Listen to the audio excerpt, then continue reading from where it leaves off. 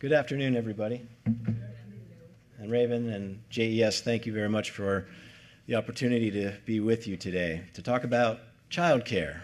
The way we think about childcare has changed rather dramatically. Rather than outdated views of childcare as a private family matter, particularly for women, and for our youngest, not even being more perhaps than babysitting in the old way of thinking, we now appreciate that childcare is infrastructure for workforce productivity and that quality of care for infants and toddlers, the earliest years, determines if a person will become an asset or otherwise to society in the future. Our evolving thinking is in step with our changing economy and our society. We're turning away from these narrow views of the past to seeing childcare as a civic priority that pays off in many ways and is defining in whether a city like Erie can prosper and compete. I wrote an article uh, that JES published in the summer of 2021 entitled Caring for Erie's Economy Childcare is Economic Development. I posed the question what if Erie became the leading city in the United States where childcare is universal? I think actually now I'd say that childcare is both economic development and community development because today we appreciate the two are joined at the hip. With, without strong community and families, workers won't stay, nor will they come. Without workers, many of which need caregivers for their children, companies won't stay, nor will they come. And in turn, there will not be tax base to shore up our community to be able to afford high quality of life for everybody. The fortunate link here is that households with children and population in the increasingly prime child care bearing years are positively associated with economic health. Family friendly is today's essential capital, thus firmly establishing that we need a balance in the type of policy and civic incentives that we deploy to pursue prosperity at the city level. As the organization, national organization, Good Jobs First states, in short, if elected officials prioritize building infrastructure and providing services that most benefit residents, employers will come. So, the realities of today's economy and community that put childcare on a different plane include, and I'll give a checklist. One, we have an economy where for many, uh, we're forced to work uh, two jobs because the wages don't pay a living wage. And childcare outside the home uh, is unattainable for, for many. And we don't treat childcare as a public program. Today's demographics place many cities as, at one hand, getting older and at the same time getting younger, where a declining skilled workforce collabor- uh, is tied directly to uh, baby boomers retiring. Labor is now a scarce commodity. Another factor in our, our changing economy child caregivers are often said to be the workforce behind the workforce. Indeed, we need more social workers, healthcare workers, and teachers, but when you think about it, they don't make it to their jobs in many cases without caregivers for their young children. And so, for many avocations, access to childcare and the expense often comes, unfortunately, down to a work or no work uh, decision. We know that women are increasingly integral to our economy. For example, the US, US Bureau of Labor and Statistics in 2021 indicated that mothers with children under age six comprised 65.6% of the labor force. Thus, as access to affordable childcare increases uh, women's ability to participate in the workforce uh, and to retain them, it's contributing to gender equity, childcare. Also, and now businesses have become strong advocates themselves for childcare. Across all industries, childcare is now one of the top reasons that employees cite for leaving their jobs. And it's even more critical for people who work in frontline deskless positions, which aren't able to reach the flexibility and maybe different childcare arrangements that those who are able to work from home or remotely do. And particularly good luck if you happen to be a second or third shift worker, which is increasingly a driver of an economy like here in Erie, of trying to find what is already uh, a scarcity of childcare during normal hours. A recent Erie Times News article speaks to the pinch that hospitals are feeling in staffing. As they work to fill gaps in their ranks, hospitals have been employing a, creative variety of tactics to attract and retain people. And a recent survey by the Hospital and Health System Association of Pennsylvania indicated that since 2022, nearly 40% of our hospitals across the Commonwealth provide access to child care services. So, no wonder that child care is now a very powerful recruitment strategy. For example, many businesses are starting to offer in house child care as it's less expensive for them than having to replace staff. According to the company that's called Care for Business, 90% of employers say child care benefits have a positive impact on ta- talent retention and recruitment. Get this, equal to retirement plans and slightly outperforming even paid time off and health care benefits. Also evolving is our understanding of who are the top performers in our or drivers in our economy. In the year 2000, 25 years ago at Sustainable Pittsburgh, where I worked for 20 years, we collaborated with a Jefferson Educational Society headliner, Richard Florida, on his work that was the precursor to his Amazon best selling books, The Rise of the Creative Class. His first report, which we published, was focused on the wants, needs, and expectations of young, talented knowledge workers. The premise was that those young techies were really a silver bullet for economic prosperity of a city. But even that think, thinking is evolving to also focus more heavily on arguably the most stalwart and more appreciated contributors to our economy, those in the childbearing family years. Those tech workers, and I heard CEOs in Pittsburgh say it often, we can't keep them. In time, they want to settle down, have children, enjoy a family life, and suddenly those bohemian lifestyles take on very different uh, priorities. So now it's better understood that the silver bullet to retaining talent now points to the need not so much of the creative class, but the procreative class that experience stronger economic growth. I'll give some examples. For example, families with young children are a so- source uh, of strong economic growth because they spend the most money on the local economy. Services for children obviously are an important part of local and regional economies. And thinking longer term investment in children builds a productive future workforce, leading to long term growth.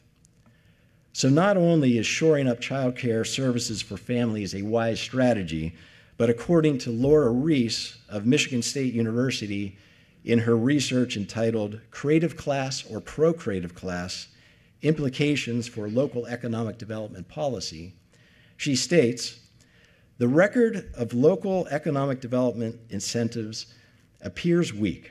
She finds that financial incentives, in particular, do not appear to lead to economic growth and actually seem to make local economies worse. This, she says, suggests that local development policies have no effect on economic health at best and are detrimental at worst. She continues because many development incentives entail significant costs to communities, both in direct expenses and tax expenditures, their lack of correlation to economic health should raise concerns about their cost effectiveness. She poses what does appear to be Related to economic growth, the answer, based on her research and data, seems to be investments in policies and activities that make the community a better place to live and a better place for families. Indeed, according to recent uh, work by uh, Fourth, uh, I'm sorry, um, uh, Route 50, a periodical, studies from the Upjohn Institute show that most companies would have made the same location decisions without taxpayer subsidies. Meanwhile, schools make up the largest cost in these communities, meaning they suffer the most when companies are granted breaks in property taxes. And a poorly funded education system is less likely to yield a skilled and competitive workforce over the long haul, thus creating long term economic costs that make a region less attractive for businesses and residents. So, this puts in perspective uh, the point I made in that article in 2021 about Erie having the possibility to become a leading city where childcare is accessible, affordable, and high quality. Leading cities are instituting childcare strategies for working families in order to attract and retain talent, to grow, and for workforce development and thus business success. Economic development, community development, and social supports are now better seen as mutually reliant and supportive. But all is not well in this childcare economic sector. Compared to our traditional view of infrastructure, childcare is not part of city planning, nor is it a budgeted local government service. Local childcare supply, demand, and thus gaps are not tracked and addressed on municipal levels. Childcare providers face a dizzying array of regulations. Families are largely left on their own to figure out the very complicated process for accessing limited subsidies from our state, for example. At a local level, demand for childcare uh, usually exceeds supply. Wait lists cause nightmares. Quality care can be hard to find, let alone, let alone any care at all. And fees are high despite pay for caregivers being paltry. For example, here in uh, Erie, it's an average of like $11 uh, per hour.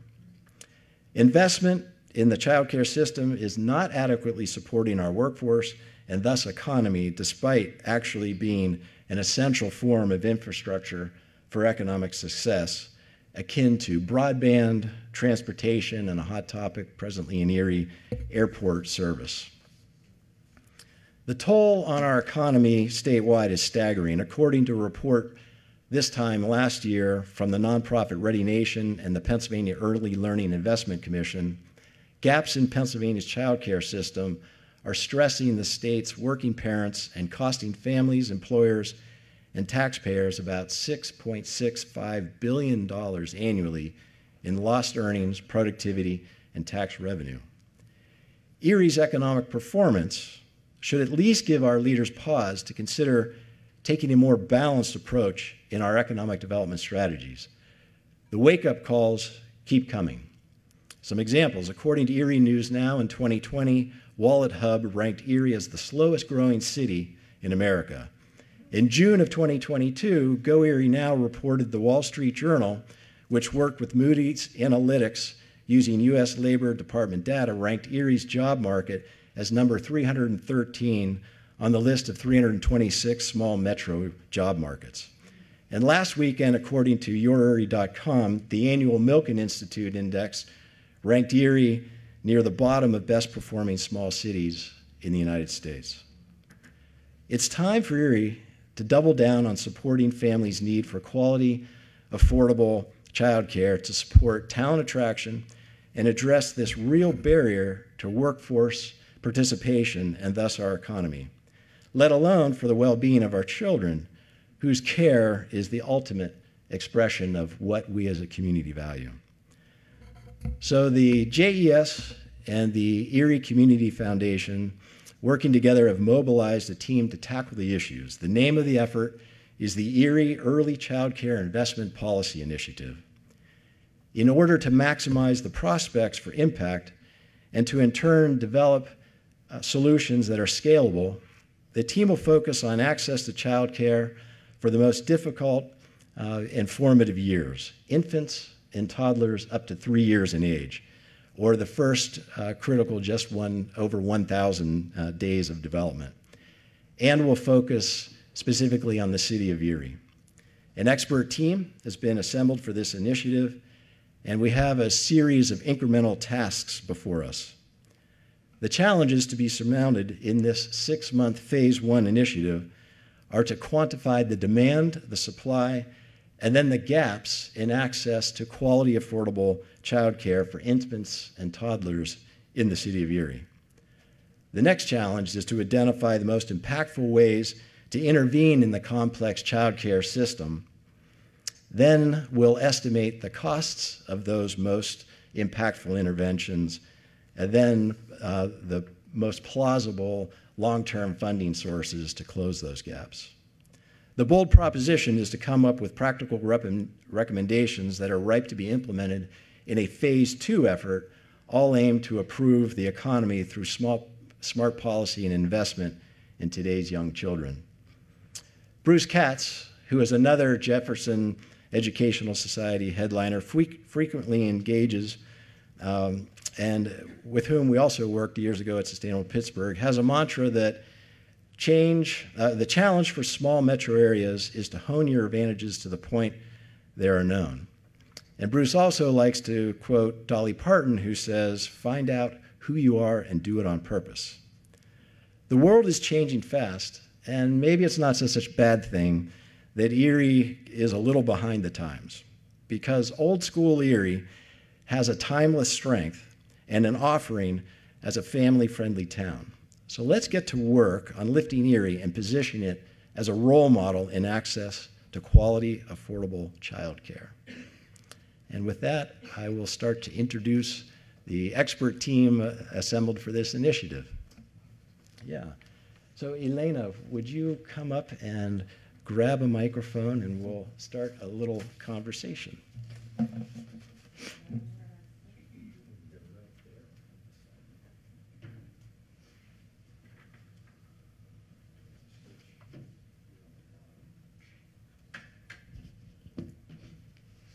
So, our uh, first of six experts assembled uh, to work on this initiative is Elana Como. She's the director of Pennsylvania's Early Learning Resource Center, Region 1, and chief executive officer of the Northwest Institute of Research. In her roles, she manages the Commonwealth's Child Care Works subsidized child care program that helps low income families pay for part of their child care fees and she serves as a hub for child care information serving Erie, Crawford, Mercer, and Venango counties. So, Elana, in your role, you are a hub for information, a conduit to the state. You work with all the child care providers in these counties. Uh, there's probably no one who knows the on the ground, big, you might say, catbird picture better than you. We're all curious how does Erie uh, the city, the county stack up com- and compare to others within our region and maybe uh, nationally as well? And how do you feel it's all going? So, how is it all going? Um, I pulled data for everyone this morning, and if you are one of 55 um, families in the city of Erie and you woke up this morning you learned from our office that your infant, so that baby between six weeks and one year old, is still on a waiting list, which means there's 55 families that can't go to work because their child doesn't have care. And the reason they're on our waiting list, and these would all be qual- individuals qualified for um, low income subsidized assistance through our office they can't go to work because there's not access. There's not an open, available childcare space for them right now. So that reality is real in the city of Erie as well as across the Commonwealth. I think Erie has done an amazing job, as you're going to hear from some of our other panel experts, in the quality area. So we do have some absolutely wonderful high quality childcare programs across our city. I would love to see that number be 100%. Um, currently, it's 44%, which is just slightly below the state average of 46%. But our goal is that all families have access to high quality early learning experiences and that when they're ready to go back to work, they have a space for their child. Was that my six minutes?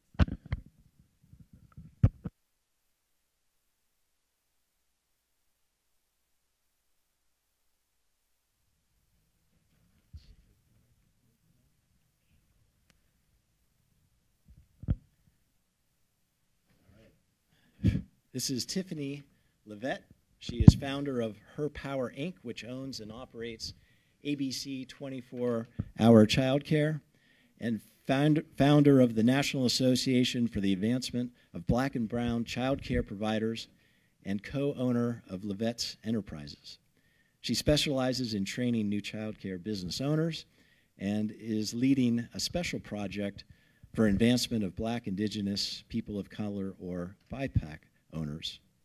So, Tiffany, you are a, uh, an entrepreneur, a community le- leader that I've been delighted to get to know in many ways, helping out our town, our region.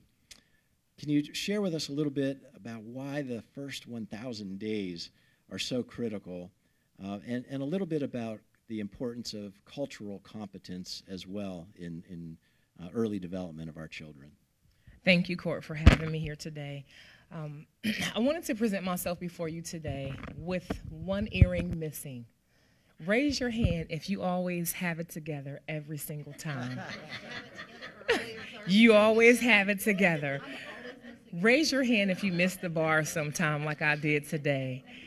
The reality is, I lost my earring in the airport. It's my favorite pair of earrings, so I refused to let them go. And I, I wanted, I looked, I looked this morning, and I said, I can't go with one earring missing. But my question to myself was, why not?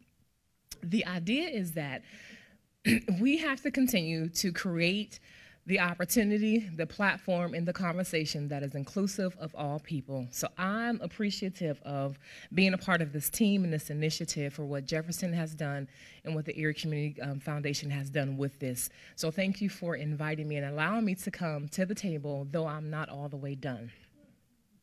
So the a part of the the, the concern is how do we guarantee that our children will meet their, meet their maximums in that first 1,000 days? And in order for that to happen, especially in the BOP, when it comes to BIPOC providers and those who provide care to a large number of children that come from the BIPOC community, we have to have resources in order to pour in. And so one thing that I've noticed has happened is that there, there's a STAR program. And so one thing that's happened is that you see a lot of um, child care providers, owners, directors that are of color that have lower star levels when you look at our white counterparts. And so, what does that mean and what is a star? The STAR program is um, a quality program, and so there's STAR one, two, three, all the way to four. So when you get your license, you're automatically a one, and you go from there. So part of the barrier is that, for example, in Erie Region One, which Elana is ELRC is a Region One, there, we have a total, when this data was given to me, about 137 providers total. And so, out of those providers, 104 identify as being Caucasian operated uh, facilities, and the other 33 identify as being BIPOC, whether that is Black owned, whether it's Latina owned, or Asian, or you know what other other category they may fit in. That is the BIPOC community represented as providers. And so, in this group, we have, for example, for Star One, which is the lowest level of the quality rating. So they receive the smallest amount of reimbursement. And so 46 of them in our Star 1 are the Caucasian group, and you have 20 that are BIPOC. When you move to Star 2, you'll see 24 Caucasian, you'll see six from the BIPOC community. Star 3, we have 10, and there's one Star 3 BIPOC owned facility, which is mine. And then we have our STAR 4 facilities, which 24 of those are identified as Caucasian and six identify as being BIPOC community. So we look at STAR 1s, 43% being those uh, BIPOC, identified as BIPOC, and STAR 4s, we're only represented as 25% of the total number. And so, when resources impact our facilities, that ultimately impacts the quality of care that the child gets. We have to be able to afford to pay quality teachers. A teacher cannot survive working for our facilities making 11 and 12 dollars an hour. Not at all. So something that we've done in my facility, let me know my time. I know we got 6 minutes in my facility is we had to figure out how to supplement in order to increase that quality at our center. So what we did with our last little bit of money we had, we purchased a food truck. And so what we've been able to do with that food truck is use the resources to continue to pour back into our facility, regardless of what grants were coming through, regardless of what opportunities or partnerships were there. We had to figure out how to survive on our own. These are the opportunities where we have to look in our BIPOC community of business owners to see how can we continue to share information about uh, opportunities and resources and programs that are available to our counterparts so we at least can be competitive and also assist our children in that first 1,000 days. So what's happening with the project that we're working on right now? As Black and Brown child care providers, we continue to fall below the curve when it comes to the highest quality rating. And so that means that our annual revenues are lower. We are not maximizing the amount of return that we receive for our care because we are not at that star three and star four level. So, what we've done is created a, um, a national coalition which I'm really excited that people hear my ideas and follow my vision, and I'm thankful for that. So we've started a research where we've collect, begin collecting data from um, the regions in the Commonwealth of Pennsylvania first to kind of see what that breakdown is, similar to the one that I shared with you from Region 1.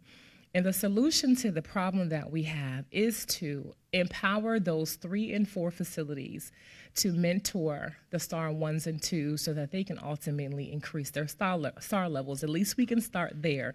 It's not a grant that we have to wait four and five years for. It's not. Um, asking anything of, of more than what we should provide. So these these additional funds that come in helps us to pay for high quality teachers, which we were able to afford a preschool teacher that is not cheap if we want to be able to be competitive. And we also have to start at higher wages and we have to be able to create positions within the facility, management positions and so on. In order to increase and obtain the one through star four levels, we have to include and have these providers be a part of a mentorship program where we connect with them it's something about BIPOC community, and I can say this because I'm from the community. We really communicate a little different. Um, so this network, the uh, Child Care Network, was actually created first. So a lot of information that we get from Elana, we share. A lot of information that I get from the state advisory boards that I'm on, I share with this group, and that's access to information. And as a result, we actually have two other people who have increased star levels to star four since being a part of this. Um, so, which a home provider, which is kind of rare, a part of our network has increased to a star four level, and we're excited about it. So the more we um, share platforms, the more we engage and build partnerships with each other, we'll have access to resources to provide quality care in those first 1,000 days of life. Thank you very much.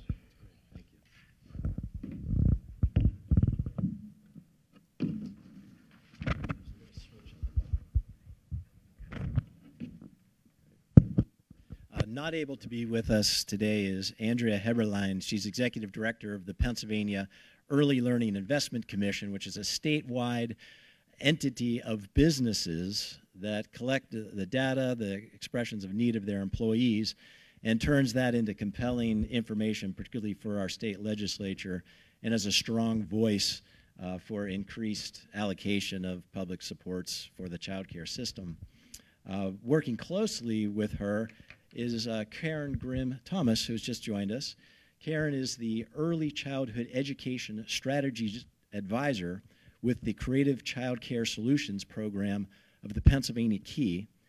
She helps employers identify and address the child care needs of their employees and invest in local early learning systems as a mean to attract and retain staff and create positive work environments. So, Karen, you have a remarkable insider uh, view to the wants and needs of employers, but more importantly, their employees. And the two have to one talk and understand one another. Uh, when you engage with a company, what do you typically find, and what should businesses be thinking about with regard to uh, the childcare needs of their personnel? That's a big question. Thanks very much. Um, and it's just very exciting to be part of this initiative and have it start. Um, for a city to kind of take this on and really look at this issue is exciting to me. Um, I mean, ultimately, what we have is a, an issue with funding in, in, of the child care system. And the ultimate solution to that is going to have to come from the federal or the state level. And we're not seeing those things coming anytime soon. And so, the idea that a city would start to think about this and take it on is really exciting. And it also means that businesses, in in the absence of having that bigger picture, that bigger funding stream coming in, need to really start to think about it because Court really laid out what these impacts are to businesses when their employees don't have childcare and the the costs that it you know the economic impact on their business. So usually when I start to work with a, an employer. Um, there's a couple of things. It's really about education. It's helping employers understand why childcare is a broken market. Um, what the how we've traditionally funded childcare leaves them very vulnerable to the issues that are happening right now. And so we talk a lot about how you tweak those funding streams to make them less vulnerable to those things. So there's a lot of education. Businesses are coming in at lots of different levels. So some of them really are very aware that there are issues. Some of them um, know that there's a problem, but they don't know where it's coming from.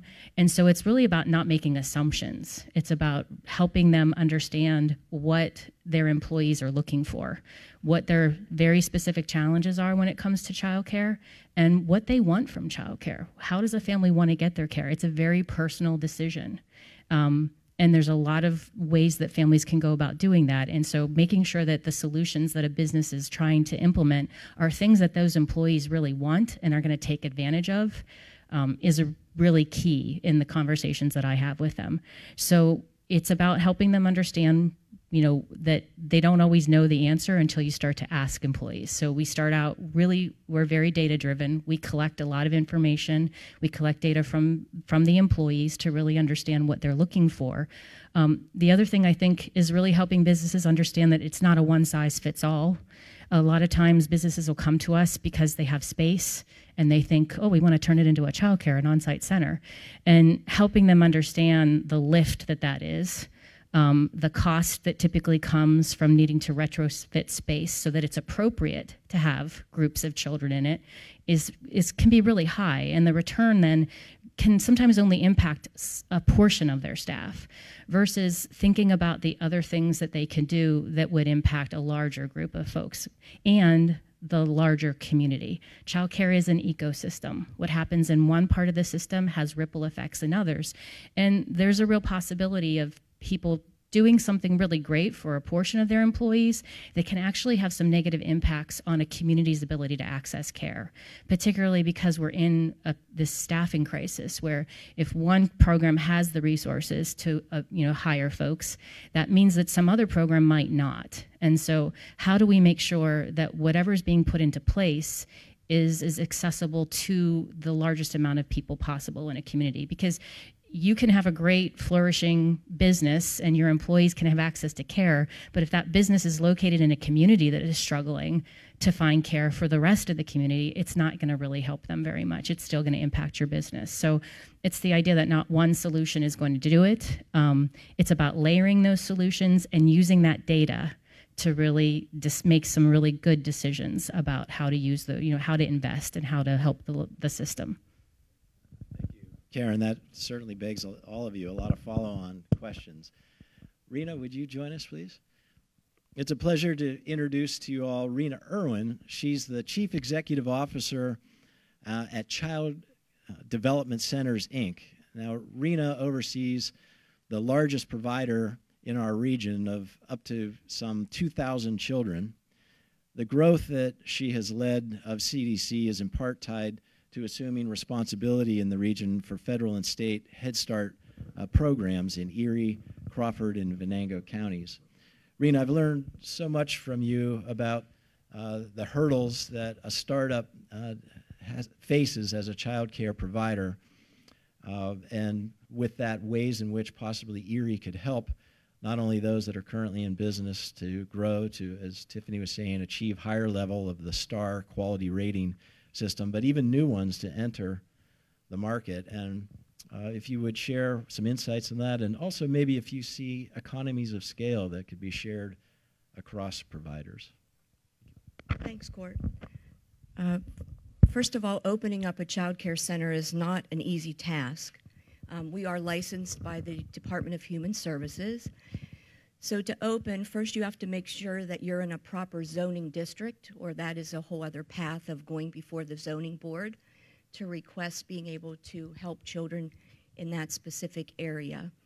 And then we have a licensing, you fill out a licensing application, and a representative from the state comes to the site, does everything from measure every square foot um, of the classroom to see how many kids you can have, the outdoor space, all of that, and then they begin to look at your staff. Uh, do you have a center director? Do you have a group supervisor? What positions do you have um, in place? And then you, you become licensed. Uh, you're on a provisional license for six months, and then the state will come back and do another inspection. And at that point, they will look at all your staff files and they'll do a random sample of children's files and look at the space again to make sure that it is worthy um, to have children in it. All of CDC's centers are Star 4, all 15 of our early childhood centers. Uh, you cannot apply for STARS until you're on a full license. So, like what Karen was saying, that the funding is out of whack right uh, on day one because the tiered reimbursement to be a star four, you can't even think about that for six months. So then you're operating your center for six months knowing that you're going to lose money. So programs have a hard time weathering that storm. Um, so if there was a way that those things could change, because it is all about funding, it's no different than selling a widget. We need to have a surplus at the end of the day, um, or we aren't going to make it. Uh, there are different funding amounts depending on what program.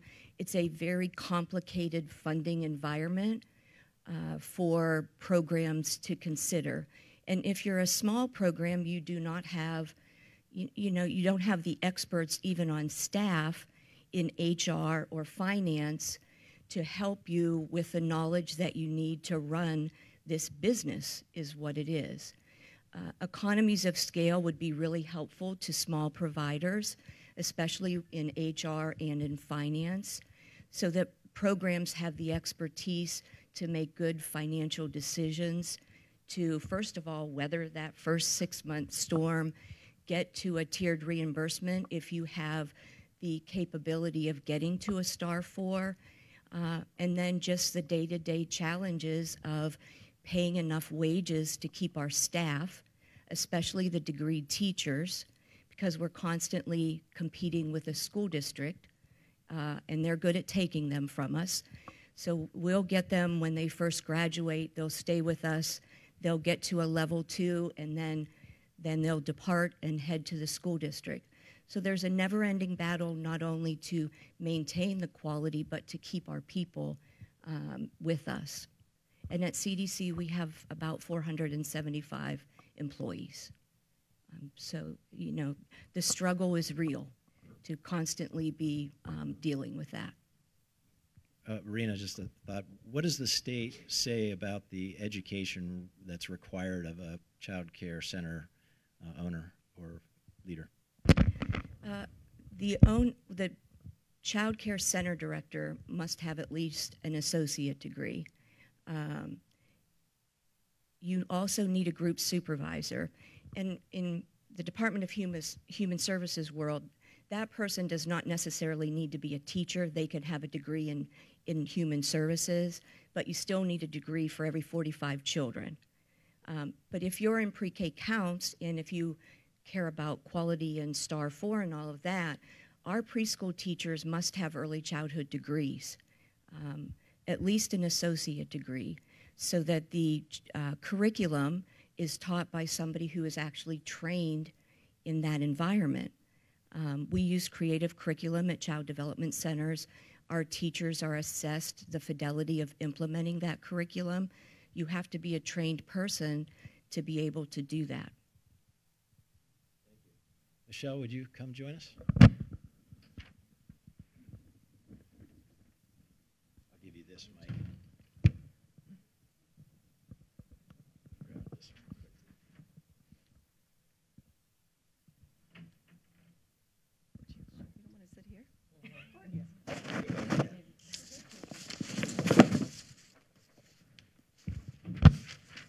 So I'm pleased to introduce you to Michelle Harkins. She's Executive Director of Early Connections, Inc., a leading organization in our region for early care and education.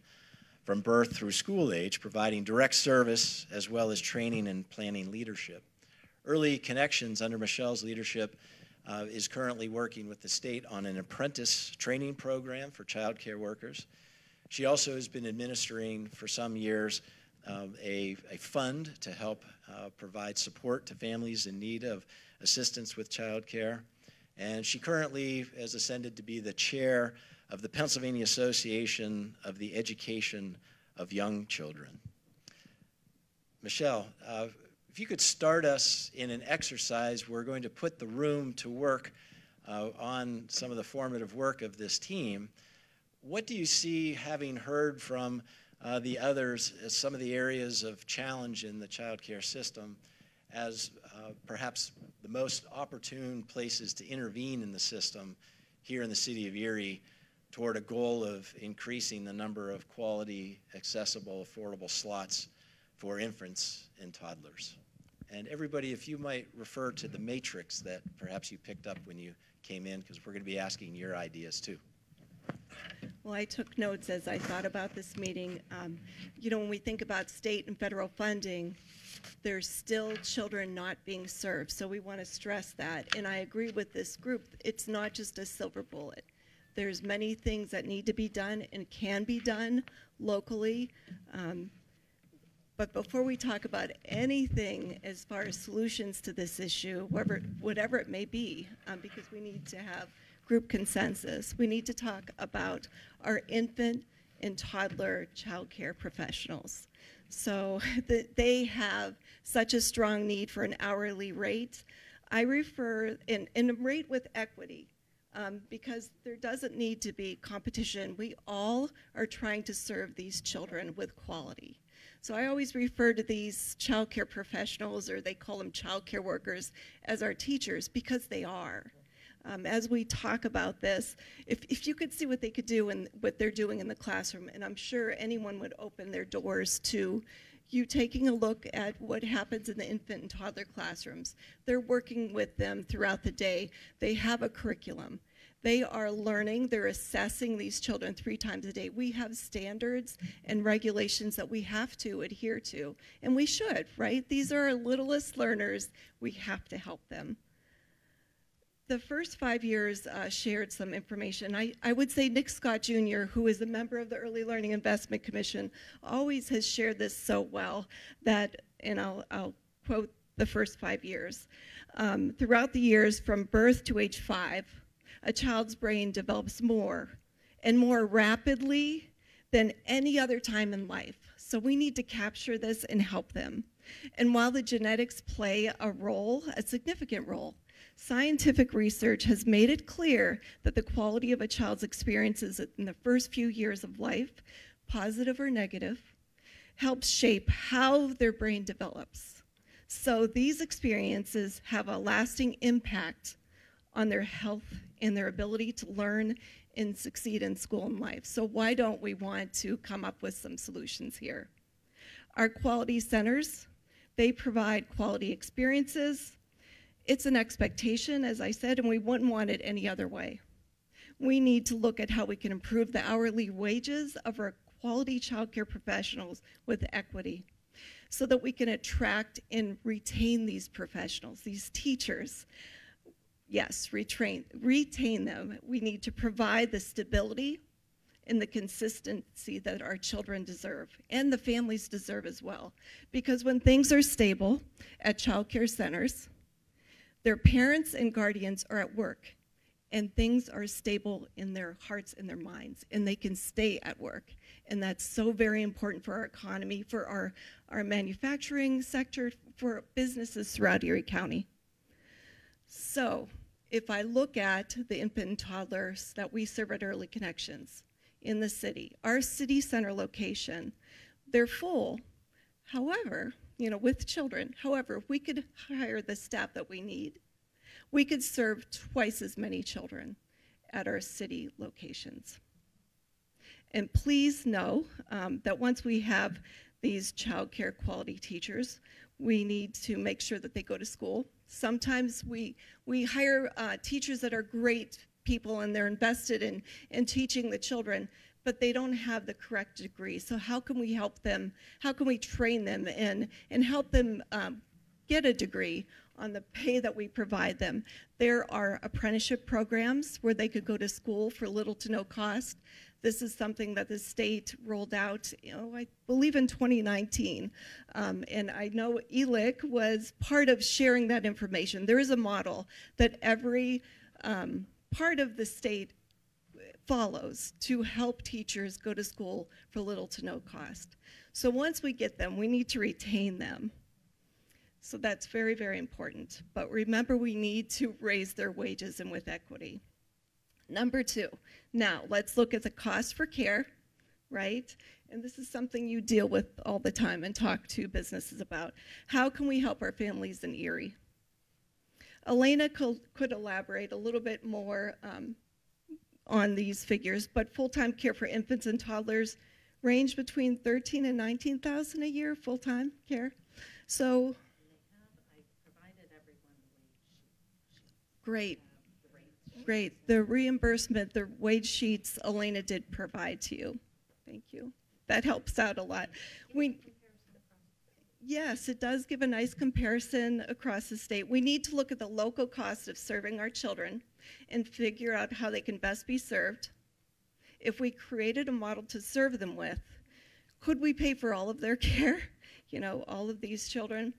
Or could we partially award them a scholarship to qualifying families and maybe look at a tiered uh, reimbursement or scholarship to the families depending on their wages. Now think about that. Some have said these parents should pay more. I've heard that in the community. These parents should pay more. We have parents that tell us that are private pay, if you raise your your tuition, I'm going to have to pull our children out. And they're working full time, two parents. So let's think about that. And they, they can't qualify for child care subsidy.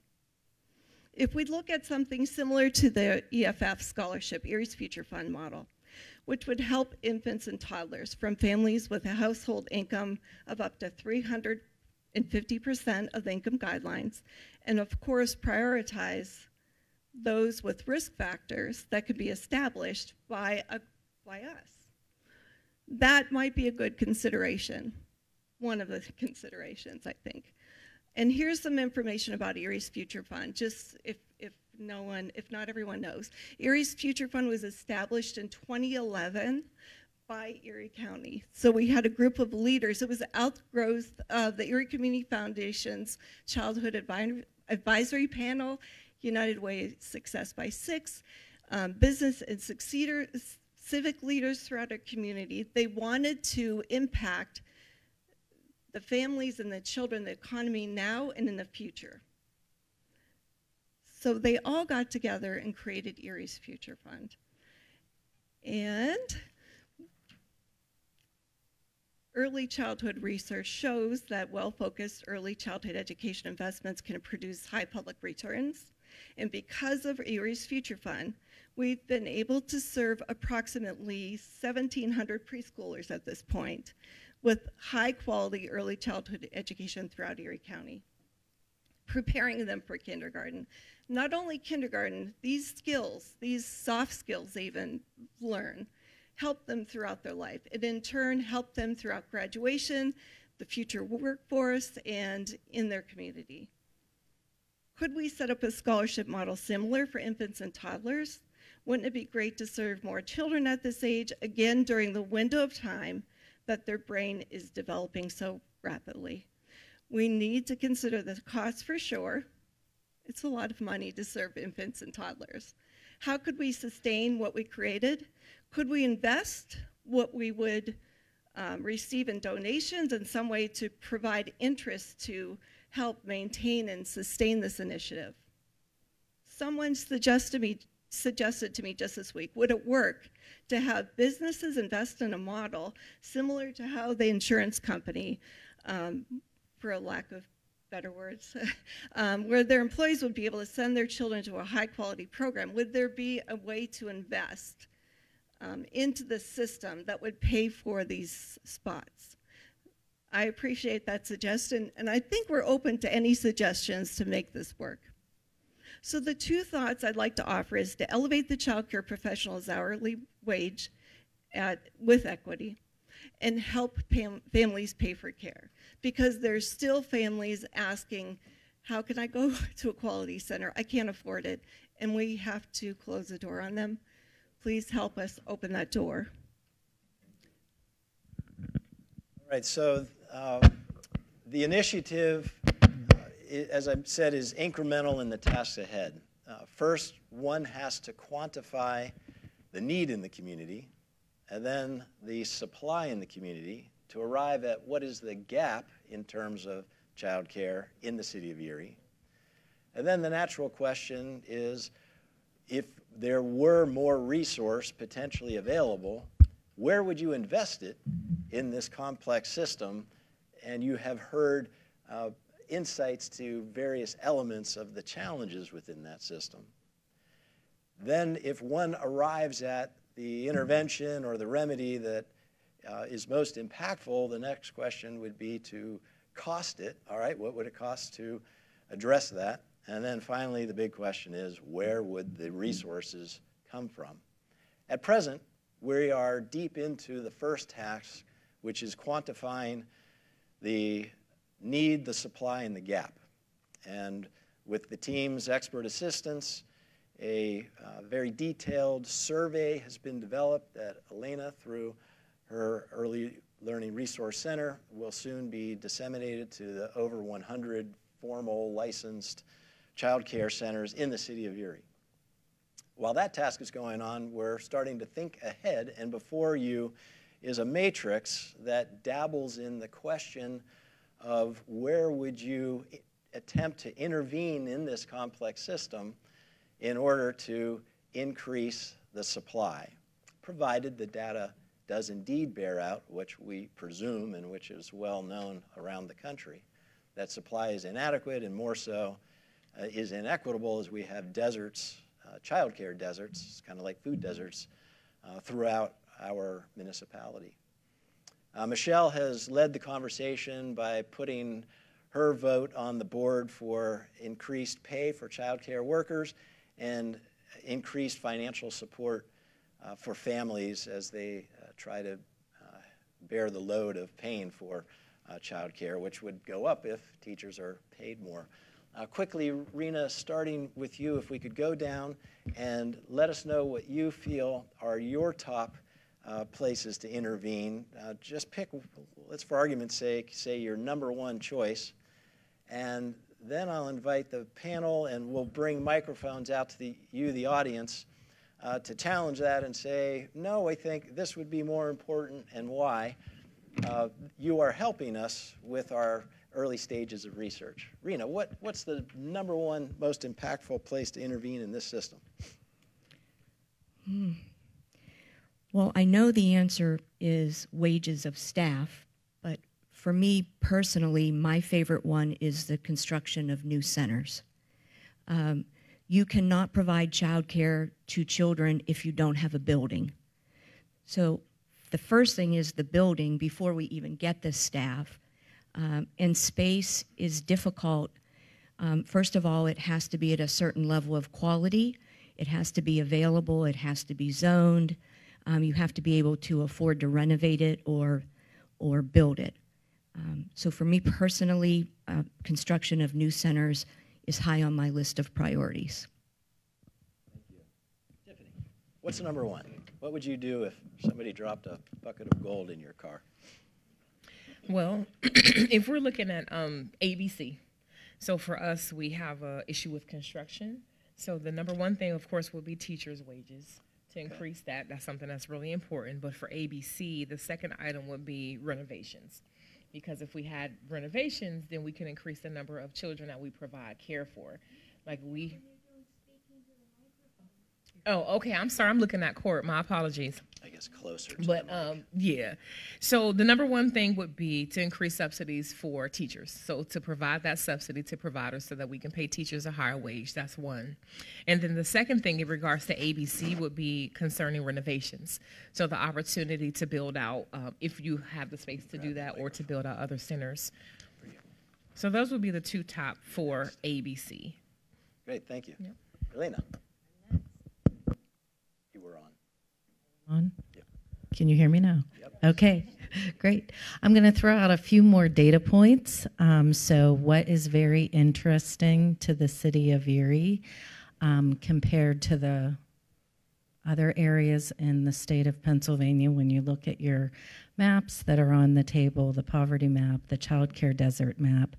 I think where Erie is very unique right now um, is that we have the second highest relative population um, in the state, which means some form of relative, a grandparent, an aunt, an uncle, a um, sibling who is over the age of 18 may possibly be caring for that child. Typically, why they are caring for that child is because there's a huge shortage of second and third shift care in the in the city. And so if you work at a hospital or you're in the entertainment industry and I think Erie has done a phenomenal job making it a destination to visit city. But for those of us that are living here and working in these fabulous places to visit, um, Splash Lagoon, the Bayfront, Presque Isle, you're staying in hotels, all these great things in our city. You need workers, and if those workers have families, they need second or third shift care, which we have a great shortage of.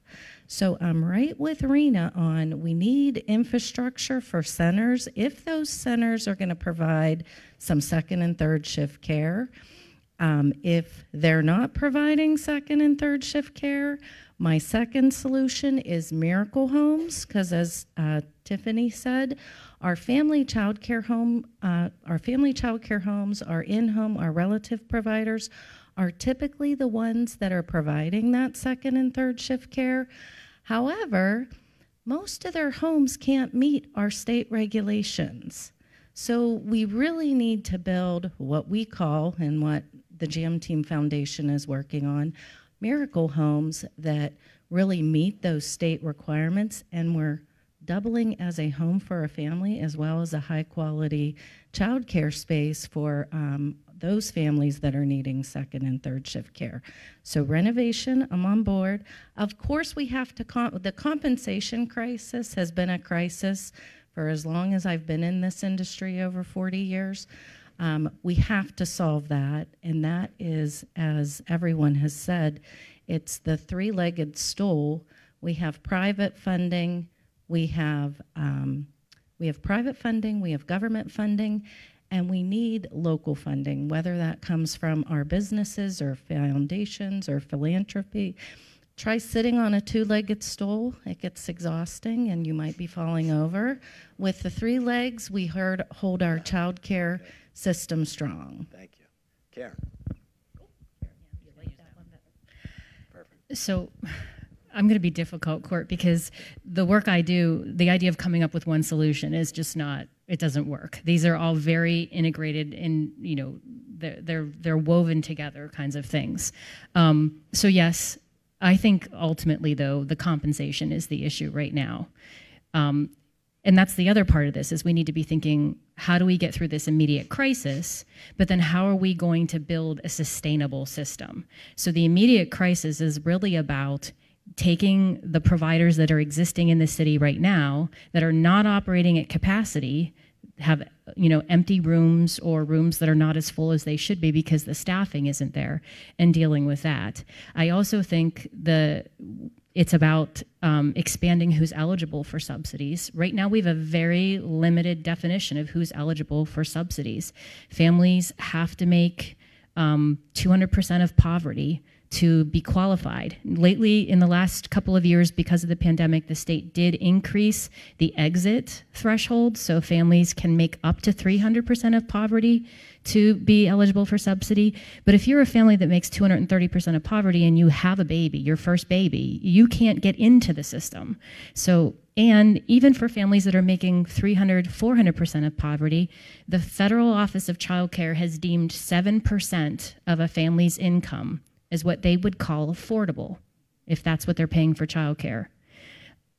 You know, there's no place, there is no county, there's one actually county in Adams County, home based school age care is 7.2% of that county's median income. That's the only place. Everywhere else is everywhere from 10 to over 20% when you're talking for center based infant care. So even a family that's making what a lot of us would call a decent income cannot afford care.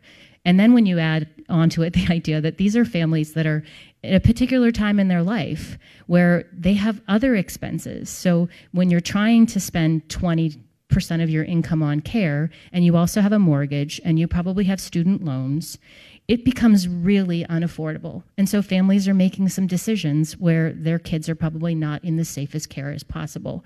And i agree with Elana there needs to be some emphasis and some look thought about those relative providers because that can be really great care. I don't want to at all imply that relative providers provide substandard care. In a lot of situations, that's the best care for families, whether it's because of the non traditional hours or whether it's because it's conveniently located in their community, it's culturally responsive. It's, it can be really amazing. But we need to have better connections to those providers, and we need to have systems in place where they feel connected. And we also need to help families understand regardless of where your care is being offered, these are the things you should be looking for. This is what quality, safe care is. And that can happen if we can support those relative providers. So I'm not going to give you one, they're all together, and they, we need to think about the short term, immediate crisis, and then start to think about those long term strategies that everybody else has talked about that's going to build a really comprehensive, um, sustainable system in Erie. And thank you for the work that you and others do to educate the business community because ultimately their support will be critical uh, in this quest.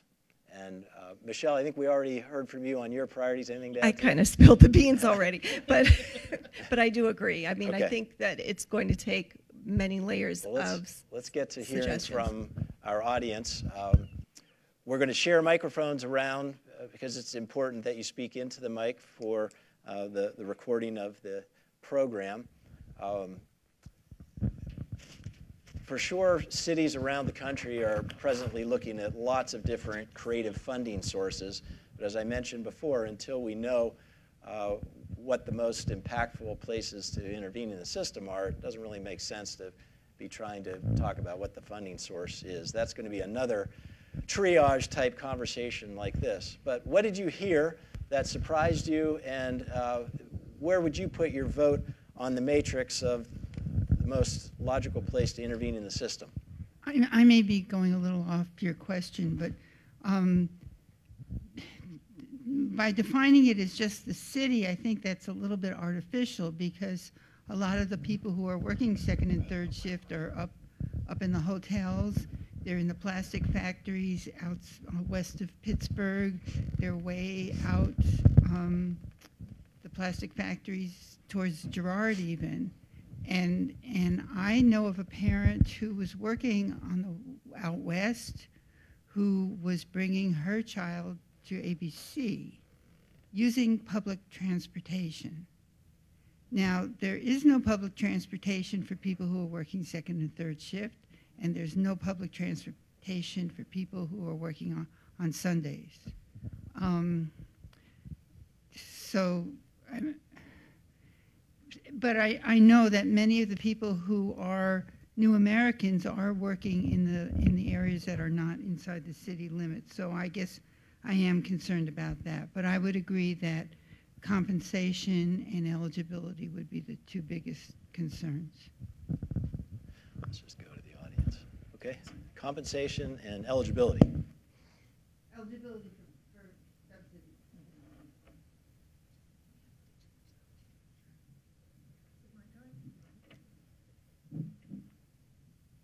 Turn. um, uh, there's so much in my head right now. It's so hard to get it organized, but thank you for the uh, issues being laid out. Um, I just want to follow up on what you said that we have an incoming uh, new American population. Their kids, many of them are very young, and they will be having new babies, obviously. So, um, one of the challenges is to um, both be accommodating but also help integrate different cultural approaches to raising children.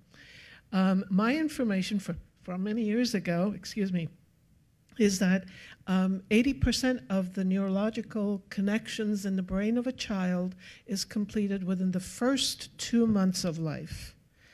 So when you say six weeks, most of the, those connections have already been completed in the home before babies come to the uh, category of uh, zero to three year age. So um, uh, when you say what are the, the, the, the, the things we should focus on, what I, uh, I want to, I heard the term quality of teacher service. Uh, that's a nebulous term, and I want to expand on that. I've been in education and higher education for 45 years, and I did grow up in a setting of childcare in a third world country, no less. So um, I remember s- uh, several things about what made um, children feel um, that being in daycare or childcare was uh, uh, um, not that different from being at home. Um, uh, my my uh, uh, mother was in a 300 employee factory setting, and they took breaks, obviously, 10, uh, 10 o'clock and then 3 o'clock in the afternoon, plus a, uh, a longer half an hour, 45 minute uh, lunch break. They could go see their kids because uh, daycare was on site. So when we talk about economies of scale, um, I'm a little wary of concepts because they do reduce costs, and this is a business. Reducing cost is one of the um, uh, ultimate goals of a business. But I would like us to start thinking not quite so much as a business, but as a public obligation and public service, and think about early um, child care as an integral part of uh, public education. Um, and therefore, find ways of getting public to participate um, and perhaps the businesses themselves um, uh, uh, becoming the, the providers at the behest of a public approach. And that then, you know, um, uh, you can raise kids who are school ready and then eventually college ready. One of the things I will emphasize is, in, in terms of teacher um, preparation, is uh, if you ask me what is the most important element in a young mind to succeed in education, single most ele- uh, uh, element is developing, instilling curiosity. And that happens very early on, or you've lost that window of opportunity. Curiosity, instilling curiosity in young minds, and teachers have to be trained to do that. Um, I'm sure you've heard of um, uh, the Montessori method, which has been successful through more than 100 years now, has a very specific method that says, let the student lead the teacher, not the other way around. Uh, so, my recommendation to you is to look elsewhere in other cultures and other countries and try to be open to the different things that they do, not just follow our own drummer, so to Thank speak. You. Let's hear a few, a few more, then we'll ask the experts to respond. Yes. uh, as far as facilities are concerned, um, we, we belong to First United Methodist Church at 7th and Sass. We used to have a preschool there, which has been out of business for half a century now. But there are probably quite a few empty churches in the community that could provide facilities relatively cheaply. Um, second point I want to make I'm married to a child care giver. Our granddaughter was cared for largely by my wife during her preschool years, as I remember. Is that correct? Uh, and um, she came out. She turned out pretty good. So, and my my wife uh, doesn't need a salary, but she's too old to do that anymore. um, I'm I'm uh, impressed by what you've presented to us, but I'm befuddled because I, I, I guess I'd like to know how people like us in this audience can actually provide some way of helping you to succeed. I, I, I just don't know what, what we could do besides paying taxes, which of course we do. Thank you. Well, you're, you're doing it now by going through the matrix and giving us some input, uh, of which we need more. Others, who else might have a thought on where would you intervene in the system? Um, I was going to mention that I cared for one of our grandchildren, and uh, she did. She has turned out pretty special. but I also have art in my background and music in my background, and so we in, went to the park because I like to do that, and it gave me a reason to go and push the swings. So it was, it was a gift to me that I could do that and use the gifts God has given me. But then we have a family, our son's family has three boys, and they were homeschooled. And they had mental problems, which they didn't discover for a while. And then they sent the one boy, and, and he had had them from the time he was little. And so being homeschooled hid everything, and his mother didn't pay much attention to them at all. And the one boy was nasty to his middle brother, and so the middle brother stayed away from his younger brother. So there were problems because they were homeschooled, and I'm concerned about that. But then my husband goes to the gym, and they have uh, wonderful child care. What's the name of the gym? It's a huge, huge building. And when he goes to the gym, I walk up and down the hallways where the kids are. Oh my gosh, this little boy, this tall, he was building things. They had art there, they had music. So there are places with big spaces, but the fam- families have to get there. Thank you. You make a good case for quality care. Another thought. Uh, hi, Art Leopold. Um, wonderful panel, wonderful work. Your efforts are much appreciated. Many, many thoughts, many questions. Uh, one question that comes up, knowing that the population in our schools is about 63, 64% minority or BIPOC, I have a concern to make sure that our daycares match that level of diversity. Uh, it's very important in the learning process in particular. So however that can be achieved, it would be wonderful. Also, I know investment's important, both local, state, federal, and private funding. like Howard said, we, if you could give us a list of a couple, three things that the public can, can do to support your efforts, that would be wonderful. And last comment, I'm sure there are communities that you might consider best practice communities. I don't think we need to reinvent the wheel, although I love creative sparks. I think that if we look at other communities and the best ones out there, I think that will lead us in a good direction, and I thank you. Thank you. Yeah, the good and the bad news is we're in the same boat as just about everywhere else. It's hard to find a best community. This hasn't been figured out very well anywhere, but there are some creative funding sources. Philadelphia has a tax on sugary beverage, soda pop. Yes. Maybe that's a good segue to my comment. Uh, I am a woman of childbearing age who does not have children yet, but you guys are opening my eyes to a lot of questions and considerations I have. And my best friend happened to have had a baby this past week, who I will be visiting this afternoon, so I shouldn't grill her with a bunch of political questions about the child care crisis. But it's definitely top of Take mind. Take her the metri- matrix. Yes. yes. Uh, my world is environmental advocacy, so I'm often thinking about funding streams and opportunities around economic development. So I'm not going to speak to anything specifically on this list. I trust your expertise, and I know I'd be coming at it with very limited expertise. But Court's comment in the beginning about the types of subsidies we provide for economic development and the impacts there and the impacts of property tax and school tax abatement on critical issues of quality of life kind of sparked an interest I had.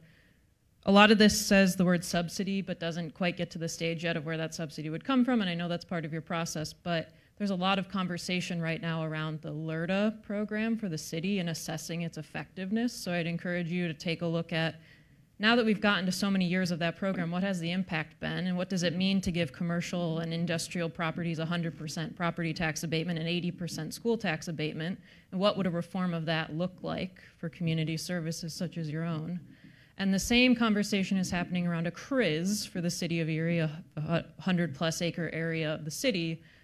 How can we think critically about providing community benefit standards for those types of investment that get at the critical early life issues that you all are focusing on? How, how can we set a higher standard for what it means to invest and have the private sector give back to some of these public needs?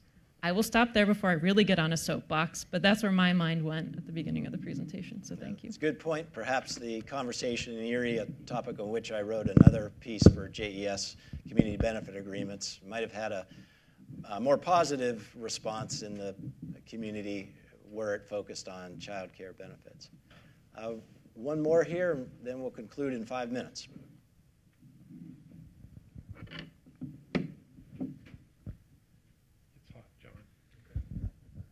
well, the last thing that you said, Court, before you started asking for uh, the audience input, and the last thing that Jenny just said uh, were the same, and that is that this effort requires the support of the business community.